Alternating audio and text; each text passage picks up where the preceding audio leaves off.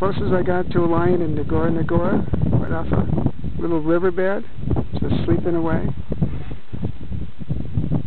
It's good to be king, just taking it easy till lunch comes by, till dinner comes by.